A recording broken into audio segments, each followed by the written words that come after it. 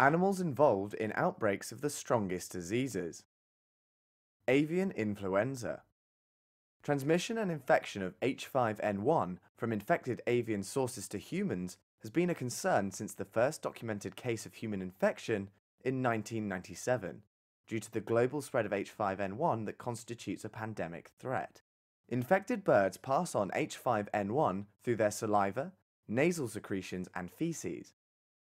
Other birds may pick up the virus through direct contact with these excretions or when they have contact with surfaces contaminated with this material.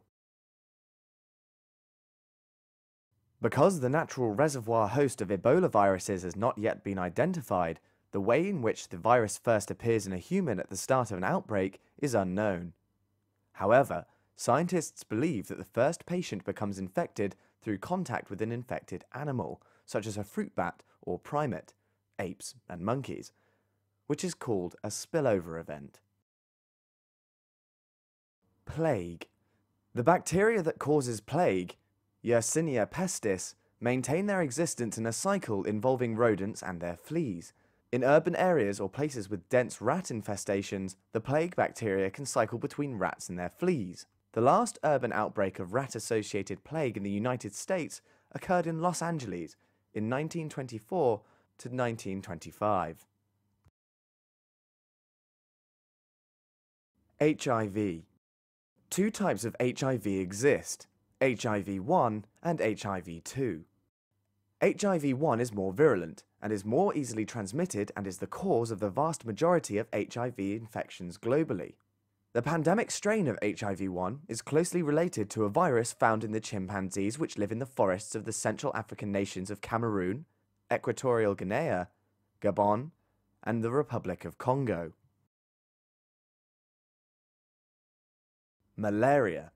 Malaria is transmitted amongst humans by female mosquitoes of the genus Anopheles. Female mosquitoes take blood meals to carry out egg production, and such blood meals are the link between the humans and the mosquito hosts of the parasite life cycle.